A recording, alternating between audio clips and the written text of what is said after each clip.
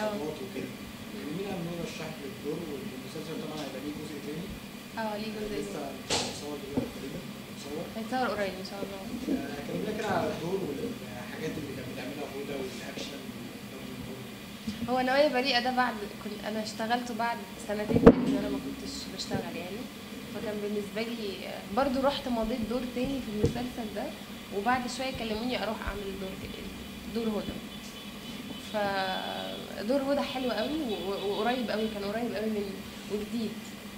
كان كان في اكشن وكان في ما, ما عملتش قبل كده الاكشن والحاجات دي كلها. وبيتحول بقى خالص في في الجزء التاني. اللي رشحني للدور ده هو اسامه عثمان أبو لبن.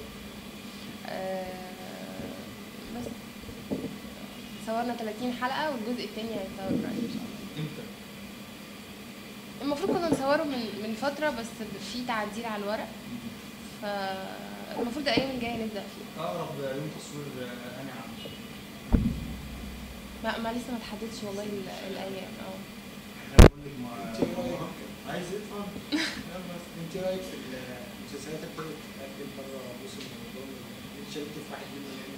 وهل يبقى ليها نسبة مشاهدة أو أنت شايفه إن الموسم اللي بيبقى خارج رمضان ده هل بي- بيظلم ولا في ناس بدأت تشاهد لا أنا شايفة إن المسلسلات اللي بتتعرض مره بره رمضان بتتشاف كويس جدا. يعني نصيبي واسمتك ده تشاف كويس. أريد رجل- رجلا تشاف كويس جدا. آه ونوايا بريئة تشاف بس هو كان كان بيتعرض على على قناة حصري. آه فهينزل على على التلفزيون والمسلسل حلو فهيتشاف كويس إن شاء الله. شايفة إن هي ليها نسبة مشاهدة يعني. اصعب مشاهد قابلتك في نوايا بريئة؟ مشاهد الأكشن دي أنا ما بعرفش أمسك مسدس وما بعرفش أمسك أي حاجة.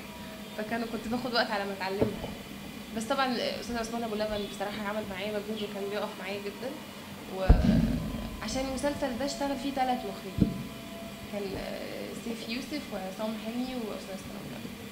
فكانوا ثلاثة مجتهدين جدا بصراحة. المشاهد اللي جمعتك بالفنان آه، مين؟ فهد؟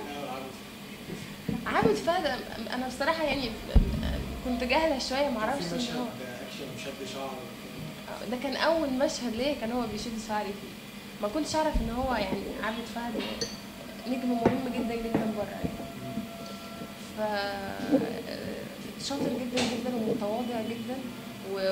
وممكن يعيد المشهد كذا مرة برضو علشان أنت تطلع أحسن فاتبسطت قوي بصراحة في الشغل معاه يعني حد محترم قوي انت نورتي يا هاجر ميرسي يا حسين شكرا. دايما. ناجحه